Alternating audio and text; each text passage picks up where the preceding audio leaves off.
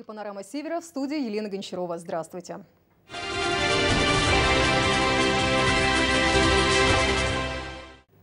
Одна из важнейших тем, которые волнуют и население, и городские власти – ремонт дорог.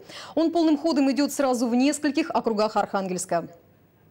Работы по ямочному ремонту на улице Никитова выполняет предприятие «Архкомхоз». Восстановление дорожного полотна идет по обе стороны дороги. Помогает в ликвидации ям, выбоин и трещин литой асфальт. Его не нужно трамбовать и уплотнять, что оптимизирует силы и график рабочих. Накануне был юбилейная работа на участке Смольный Буян. Сейчас на участке улицы Никитова от проспекта Ленинградский до улицы Воронина. Дальнейшие планы на улице Тиме и Улицкого. Работает техника в другом конце города, на улице Теснанова. Специалисты предприятия «Аксум» выполняют фрезерование дорожного покрытия. Аналогичный вид работ подрядчик провел и на улице Гагарина в районе Кузнечевского моста. Дорожное полотно здесь было серьезно повреждено, ведь капремонт не проводился с 2007 года. Специалисты выполнили фрезерование участков почти 2000 квадратных метров и уложили новый асфальт. Этой весной для реанимации дорог Архангельска городской бюджет выделил более 100 миллионов рублей в ближайшее время примем решение, поскольку мы понимаем, что средств не хватает, мы, наверное, будем какие-то суммы добавлять. Ремонт капитальный требует больших денежных вложений, а дополнительных источников финансирования у города нет, при том, что программа развития Архангельска как областного центра, которая смогла бы решить в том числе и дорожный вопрос, по-прежнему заморожена. Несмотря на это, модернизация дорог города продолжается. На этой неделе работы должны начаться в Северном округе, а уже в начале мая в центре Архангельска, на улице Тимме.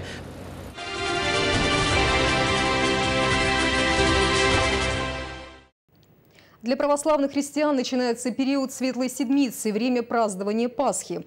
Всего православие Пасхи продлится 40 дней, вплоть до Вознесения, которое в этом году будет отмечаться 29 мая.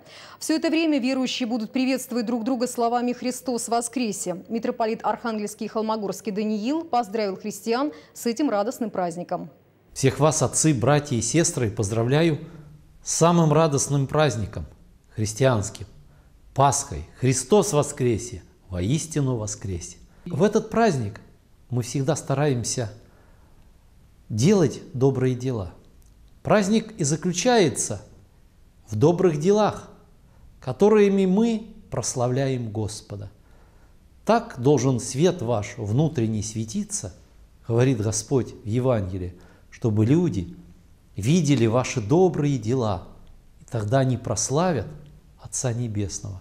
Я хотел бы, чтобы на нашем севере было больше добрых дел, больше добрых дух человеческих, больше было бы тогда у нас улыбок, радостных глаз.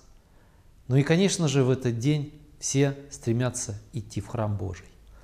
Именно в храме дается нам эта энергия, эта благодать, которая способна помочь человеку преодолеть те трудности – у которых, которых много в нашей жизни, у каждого из нас. Я желаю каждому вот этой божественной благодати. Благодать приносит радость, и тогда Пасха действительно становится самым большим днем нашей жизни. Еще раз, Христос воскресе, воистину воскресе. А накануне, в ночь с 19 на 20 мая в Михаило-Архангельском кафедральном соборе митрополит Архангельский и Холмогорский Даниил совершил пасхальное богослужение. Тысячи верующих встречали самый важный праздник православных христиан – Светлое Христово воскресенье. Воскресенье! Чарующее душу предвкушение пасхальной ночи охватывает прихожан с первых минут богослужения. Впервые пасхальная служба проходит в строящемся Михаило-Архангельском кафедральном соборе. Сотни верующих разделили радость светлого праздника. Воскресение Христово – это истина. Для всех своя истина, для верующих это истина, что Христос воскрес и искупил все наши грехи, и мы радуемся вместе с Господом во славе. Такие праздники, они все-таки способствуют приобщению к церкви, душа тянется. Для меня это значит многое. Не знаю, как для всех, но лично для меня многое. В моей жизни что-то меняется. Я знаю, что меняется к лучшему. Пасха Христова принесла с собой благую весть. Из уст в уста она передается прихожанами. Христос воскресе! Христос воскресе! Григорий Богослов пишет, что этот праздник – равняется Солнцу. Все остальные праздники – это как маленькие звездочки. Праздник Пасхи – основа нашей жизни, основа христианства и основа мира. Впервые над Архангельском звучала пасхальная песня колоколов всех звонниц строящегося собора. Великий символ божественного присутствия, символ надежды и непобеждаемой веры. Мария Воробьева, Дмитрий Люканов, Панорама Севера. В старину в Светлую Седмицу было принято совершать великодушные поступки. Подарки бездомным в пасхальную неделю раздавали в Новодвинске. Эта акция стала традиционной и организовали ее специалисты комплексного центра социального обслуживания. Подробности в репортаже Нины Стадульской. Намеченному часу на вручение пасхальных подарков подошли более 20 человек без определенного места жительства. Каждый из них получил праздничный набор. Суп быстрого приготовления, печенье, пасхальное яйцо и мыло. Стараемся облегчить их жизнь. Ведь при всем том они все равно жители нашего города. Ведь э, что тут, ну не уйдешь от этой проблемы никуда. И ждем, ждем мы, когда у нас власти повернутся значит, лицом к этой проблеме и хоть как-то посодействуют в решении многих вопросов. Согласно статистике, в Новодвинске зарегистрировано около 160 людей без определенного места жительства. Специалисты комплексного центра социального обслуживания тесно работают со многими из них. Помогают восстановить паспорт, пройти медкомиссию, оказывают помощь и в оформлении социальной пенсии, а также привлекают их к труду на пользу города. Вот сейчас немножко погода пообсохнет, лучше будет. И организуем ряд субботников на территории города. Вот уже заявки поступили. Многие из этих людей уже не раз пожалели о своей судьбе. Но, к сожалению, возврата обратно у них нет. Сгладить хотя бы немного тяжелую жизненную ситуацию, дать возможность по-человечески встретить праздник как раз позволяют данные акции.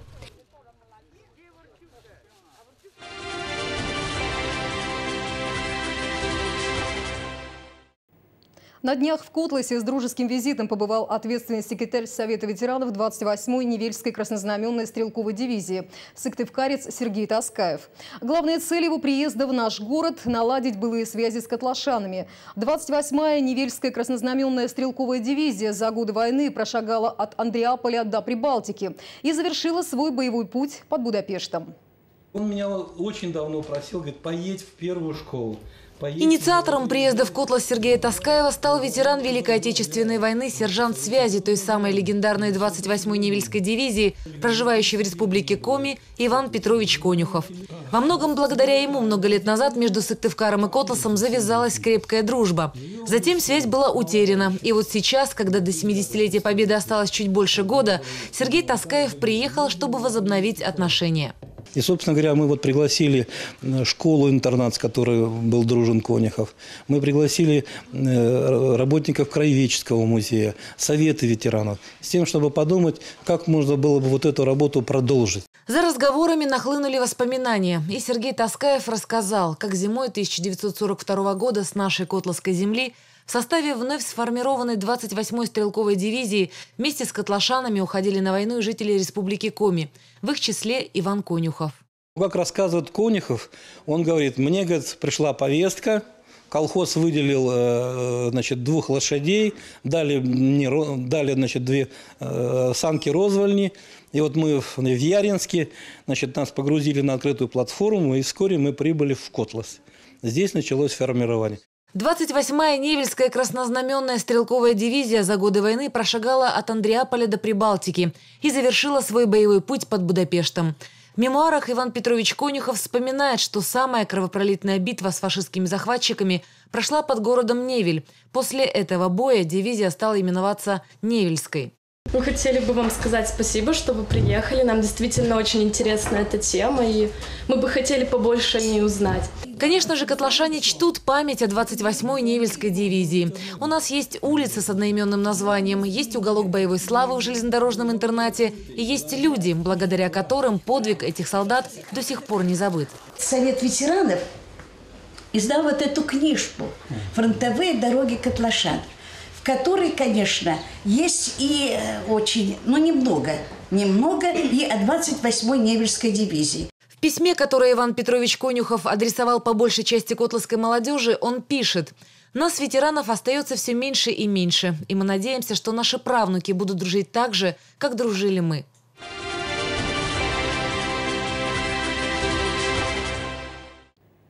Апрель для книголюбов месяц насыщенный. Его открывала неделя детской книги, 23 апреля – Всемирный день книги и авторского права. 25 в России пройдет Библионочь, а 19 апреля впервые в нашей стране свой праздник отмечали книгоиздатели и полиграфисты. Сегодня рубрику «Тема дня» мы посвятим северной литературе. Знают ли архангелогородцы наших писателей, а главное, читают ли? Об этом в вопросе Инги Швецовой. Ну, Писахов сказки, а Абрамов что-то что-то из школьной программы. Писахова, Федора Абрамова. А какие произведения можете назвать? Пелагея Алька, Прошиша. Я была на спектакле «Пелагея Алька» по Федору Абрамову. Мне очень понравилось это произведение. Ну, оно трагическое такое, но в то же время ну, за душу берет.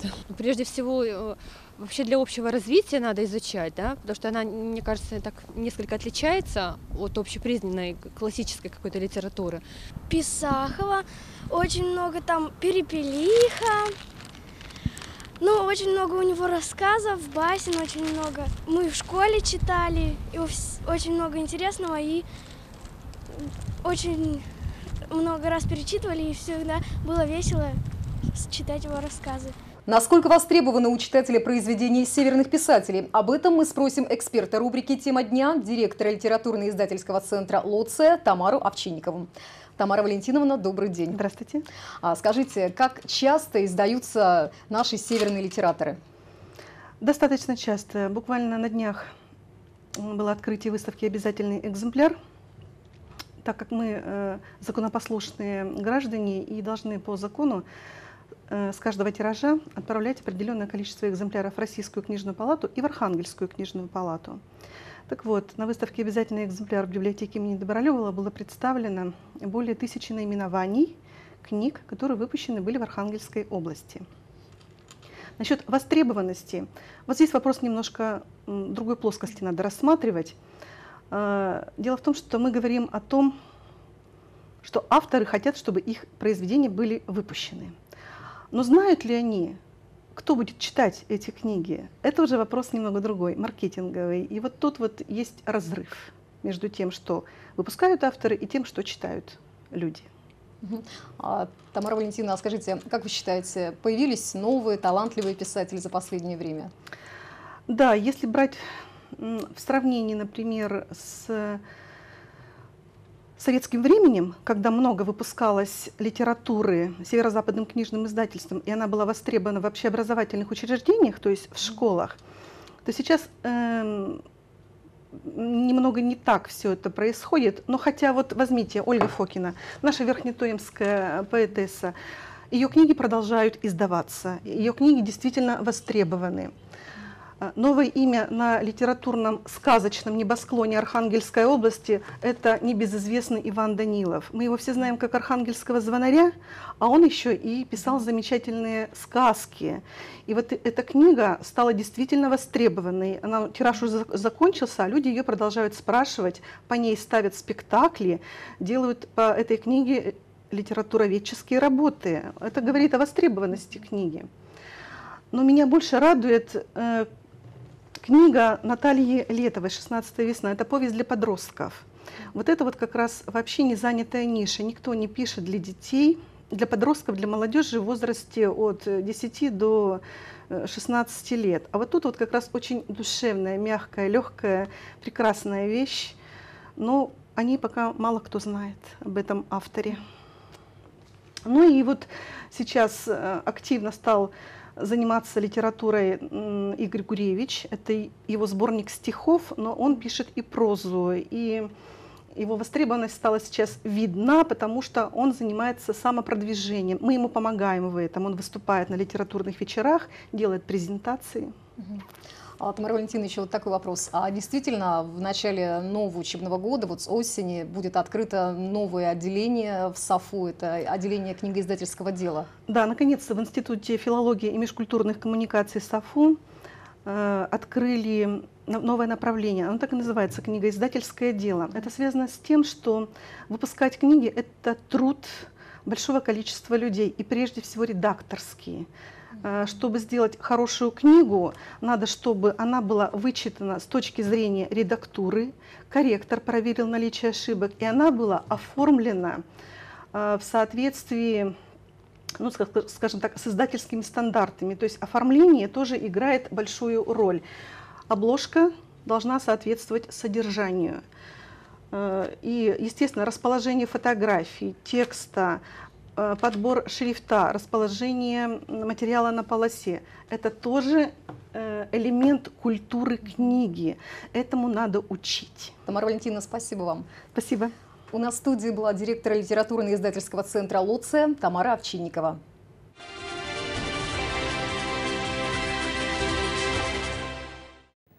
Продолжит выпуск новостной дайджест. Информация короткой строкой.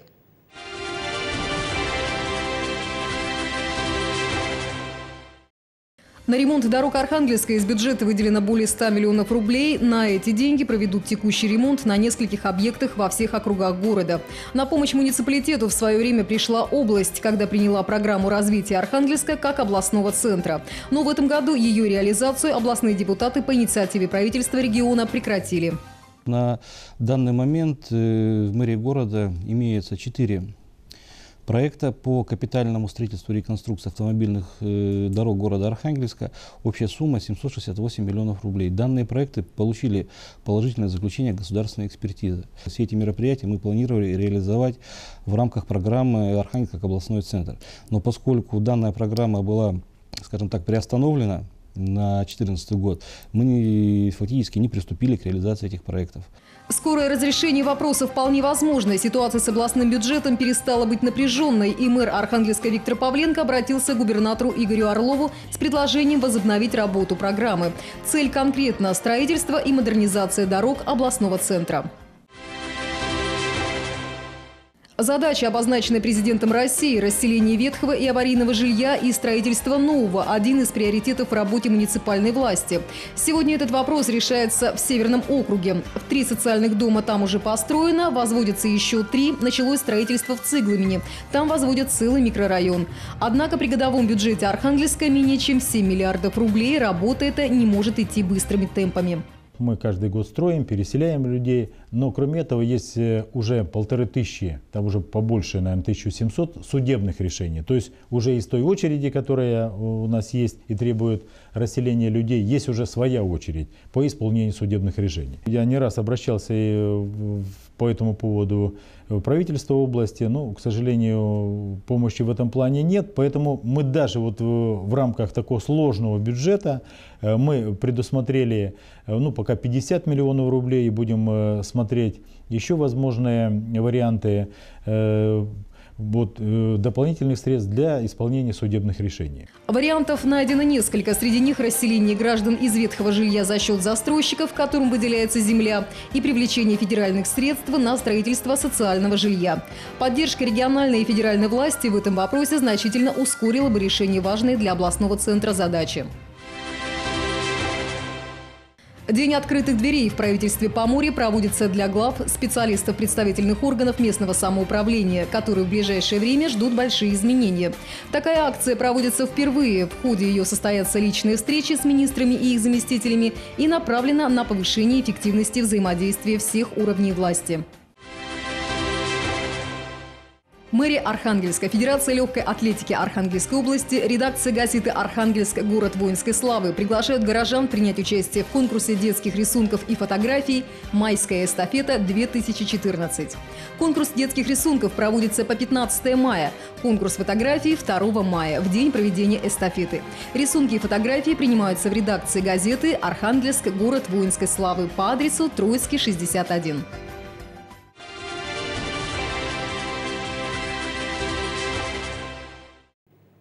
В Архангельске подвели итоги тотального диктанта. Напомним, он впервые проводился в нашем городе. Его результаты превзошли самые смелые ожидания организаторов. Самому старшему участнику было 75 лет. Подробности в материале Виктора Кузнецова.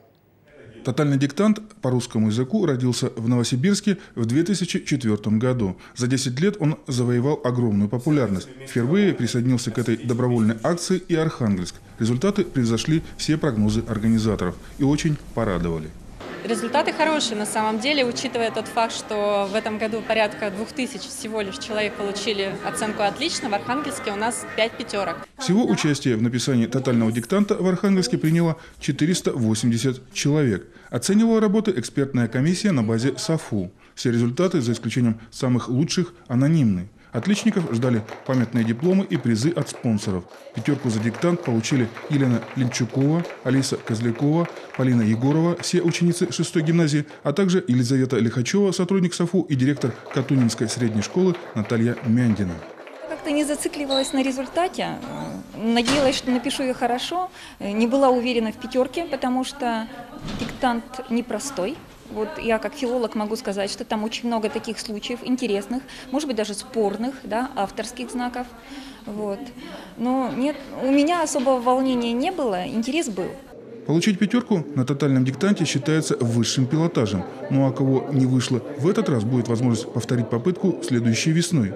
Проведение тотального диктанта в Архангельске планируется сделать ежегодным. Виктор Кузнецов, Алексей Шаршов, Панорама Севера.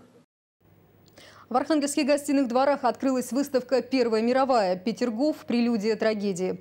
Передвижной выставочный проект посвящен столетию вступления России в Первую мировую войну. С уникальными экспонатами венценосной коллекции познакомилась Мария Воробьева. В северной части гостиных дворов в 1701 году размещались торговые, складские и жилые помещения для западноевропейских купцов, приезжающих в Архангельск. Они были разрушены в первой половине 20 века. Работы по реставрации северного корпуса начались в 2011 году. И вот оно, долгожданное открытие. Среди почетных гостей – строители и реставраторы. Именно их руки восстанавливали исторический дух памятника каменного зодчества 17-18 веков. Новшества применяются, потому что материалы меняются в любом случае. Но пытались по максимуму придержаться старых технологий. Ну, результатом довольны, все выполнено, в принципе, на качественно хорошем уровне. Реставраторы трудились на славу. Только благодаря нашим с вами совместным усилиям мы сегодня имеем возможность открыть новые залы, объекты культурного наследия, Архангельский гостиный двор и представить жителям и гостям нашего региона большой, на мой взгляд, очень значимый федеральный выставочный проект. В обновленных залах расположилась выставка «Петергоф. Первая мировая. Прелюдия трагедии». Она посвящена началу Первой мировой войны.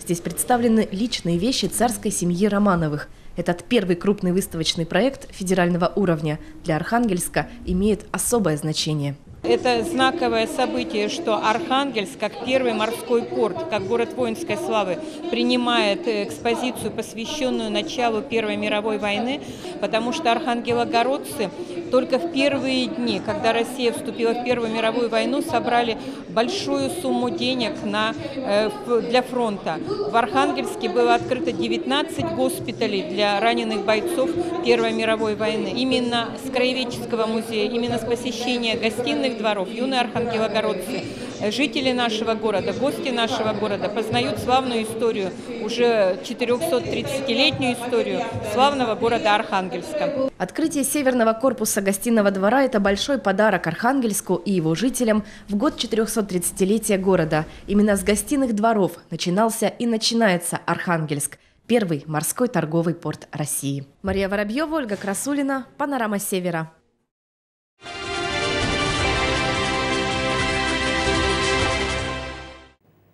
Контрольный старт. В преддверии легендарной майской эстафеты команды почитателей легкой атлетики проводят последние боевые тренировки. Одной из них стала традиционная эстафета по улицам Соломбалы. Забеги состоялись в 47-й раз. На финише победителей встречал Константин Рудаков. Соломбальская эстафета ежегодно бьет рекорды популярности. 47-й по счету старт также не стал исключением.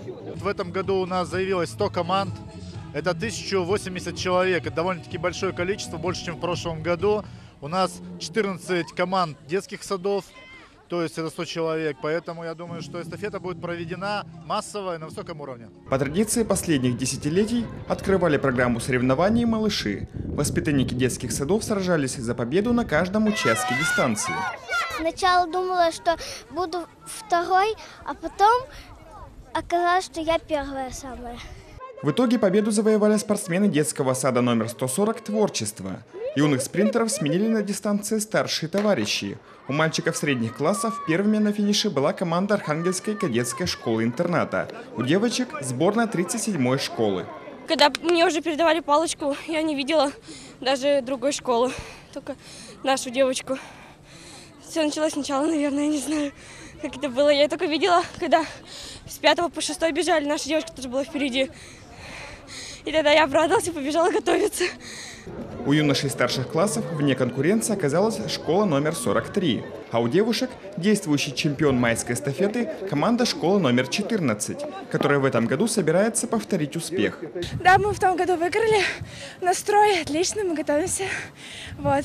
Надеемся, что, что выиграем. Сможете побороться с 28 школой? Сможем. На то, чтобы подойти к майской эстафете в оптимальной форме, у команд осталось две недели. Главный старт сезона будет дан 2 мая в 11 часов утра на площади профсоюзов. 12-й открытый городской турнир по волейболу памяти Юрия Медуницына прошел в Архангельске и прошел с успехом. Об этом говорит и количество команд-участниц, и неожиданные результаты финальных игр.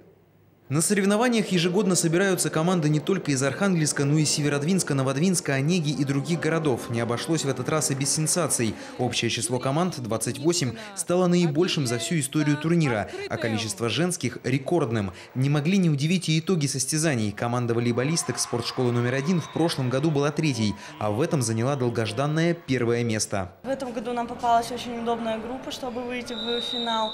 И мы очень долго стремились победить СФУ и мы доказали то, что мы можем играть. Пальму первенства турнира в своей группе взяла и мужская команда спортшколы номер один. Для них это также первая победа. Ну, все равно как бы было не очень легко. Это интересно, и чем больше команд, тем больше опыта набирается.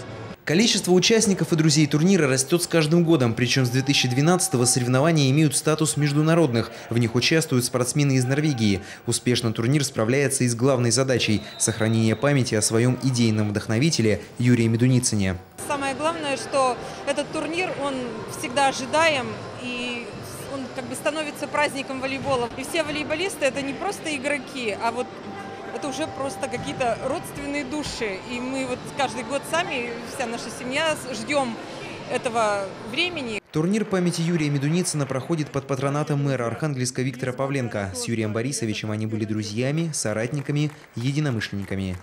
Турнир э, памяти Юрия Борисовича Медуницына – это своего рода такой спортивный праздник, который объединяет всех, и спортсменов, и болельщиков, и э, друзей, потому что мы спонсорами не называем, потому что друзья собираются, помогают и проводят этот э, э, спортивный праздник, действительно. Э, он такой объединяющий, и Юрий Борисович, как и когда-то в свое время, объединяет всех нас, объединяет э, к любовью к спорту. И, наверное, развитие спорта, развитие волейбола будет лучшей памятью о Юрии Борисовиче, о прекрасном руководителе, общественном деятеле, депутате областного собрания и просто замечательном человеке и прекрасном друге. Финальной точкой турнира стало вручение переходящих кубков имени Юрия Медуницына. Среди женских команд его обладателями стали спортсменки ДЮСШ номер один и уже в третий раз игроки мужской команды «Динамо» из Архангельска. Артемий Заварзин, Сергей Минин, «Панорама Севера». В заключении выпуска информация о курсе валют. По данным Центробанка на 22 апреля доллар США 35 рублей 67 копеек, евро 49 рублей 30 копеек. Сразу после выпуска новостей в прямом эфире смотрите программу «В центре внимания». На ваши вопросы ответит глава администрации Ломоносовского округа Владимир Шадрин. Тема программы в центре внимания – благоустройство, уборка и озеленение территории. Мы обсудим самые житейские насущные проблемы округа и вместе найдем решение. Сколько нужно дворников, а сколько их реально содержат управляющие компании и оплачивают жители. Звоните по телефону прямого эфира 639-717. Задавайте вопросы Владимиру Шадрину, главе администрации Ломоносовского округа города Архангельска. Это была информационная программа «Панорама Севера». Далее прогноз погоды, с которым нас познакомит Юнис Альшаруба. А я, Елена Гончарова, с вами прощаюсь. Всего доброго и до встречи.